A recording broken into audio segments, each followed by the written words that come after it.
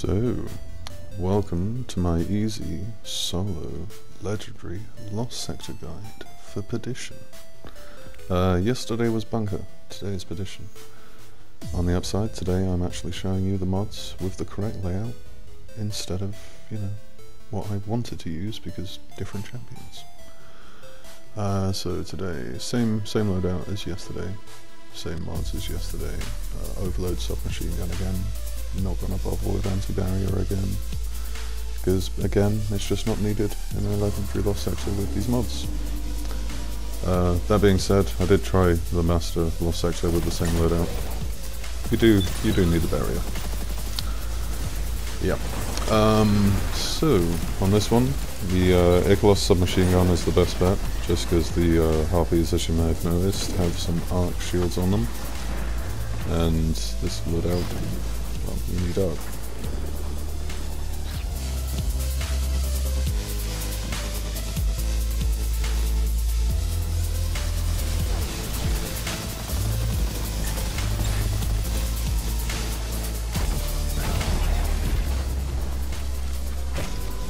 I mean, I don't hit every shot. No one hits every shot.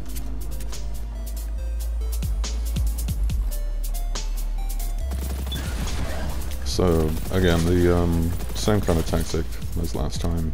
You. Um, I mean, you could use a Warmind build here because this is another fairly enclosed lost sector. This, uh, this along with Bunker these are the two easiest legendary lost sectors on Europa. Uh, anything, anything other than this is um, a little bit different. You want to keep your distance, get a place that you can work from, keep on ducking back to, recover every now and then. And I'm using a Warlock again just to show, well, the exact same loadout and skill set as last time again, but Again, this works on Hunter and Titan with any subclass.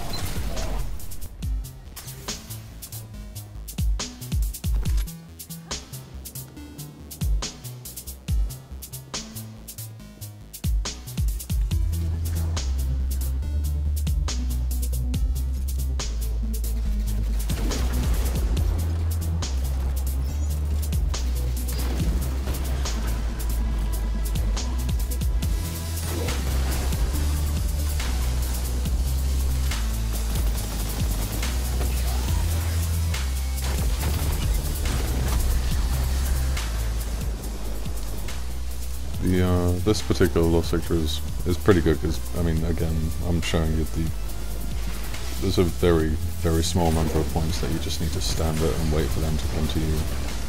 That being said, try not to walk over that Vex map. But yeah, and a flawless solo legendary lost sector is pretty easy on this with this loadout. Just need patience and let them come to you a lot.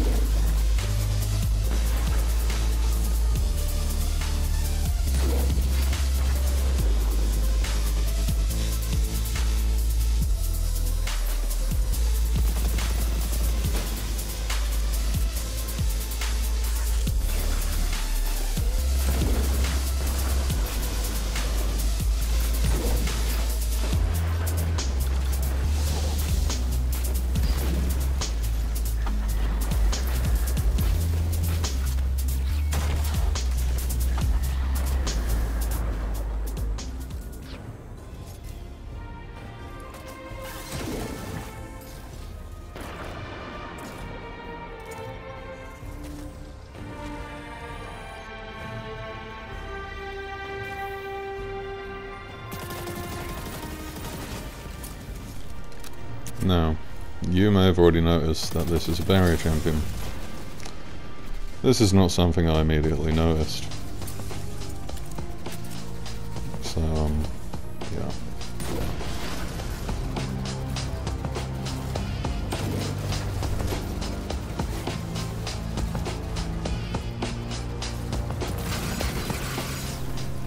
Well, now I noticed it anyway.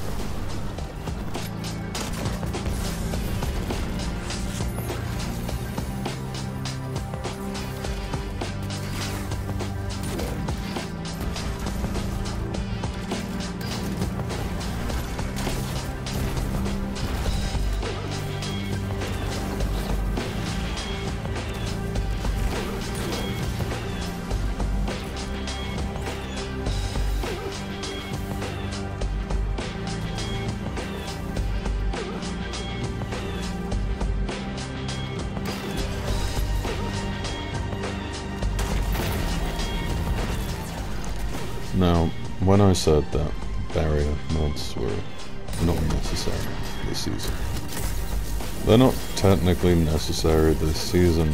You just um, just need to time the damage a little bit better than I did on this one. A lot better than I did on this one.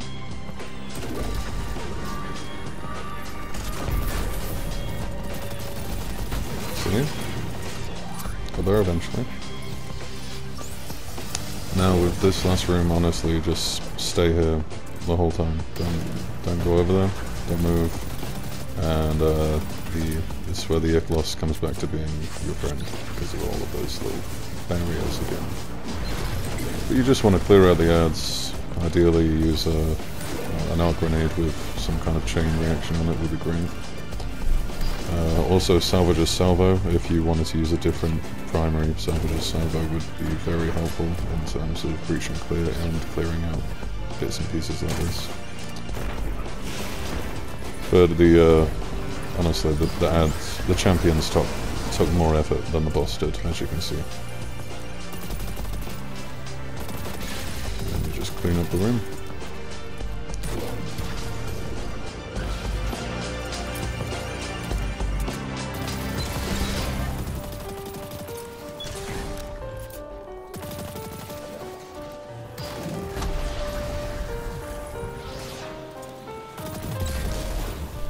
No, I I don't actually have any idea if finishing up these ads helps towards the exotic armor drop rate or not. I mean, you'd assume so, based on the fact that you're still getting points for killing. You know, you're still getting points up until you open that chest, I believe. There you go. So, makes sense to think that the more points you have, the better the loot would be. Um, I'd already actually got the exotic armor for this particular. Uh, I just wanted to show the, the loadout working again. Uh, the, the only armor I have left is the helmets, which should be coming through on the reset for Master tonight and Legendary tomorrow. And that on the upside, I, uh, I'm looking forward to doing that as well and finishing off the exotic collections for all three characters. So yeah, thank you very much. You have fun.